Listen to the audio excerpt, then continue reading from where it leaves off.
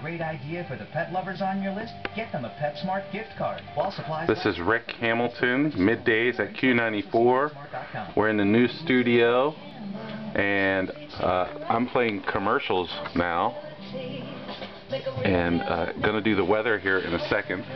But two studios away, you can see through the glass, are one of our calendar girls reading uh, some content for uh, Q94. I think that's calendar girl Jean. Oh, now the phone's ringing. Where's the phone? See that? That's the phone. It's flashing, so somebody's calling, so I have to end this video. Okay, video number two.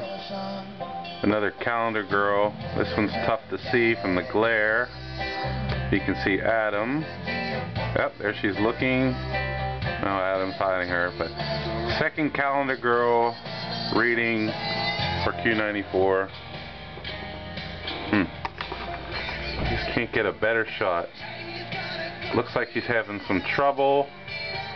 Okay, here she goes. Looking. She's gonna try reading. She's reading. And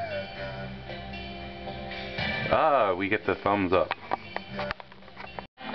Okay, another calendar girl. She looks like she's getting ready to leave. Oh, we gotta say hi before she leaves. We weren't too loud for you tonight, Craig, were? Hey, Adam. She's there. Adam. Yes. One more. Say hi. Say hi. Okay. Yep. Hi. okay, so we got another one. Maybe more to come.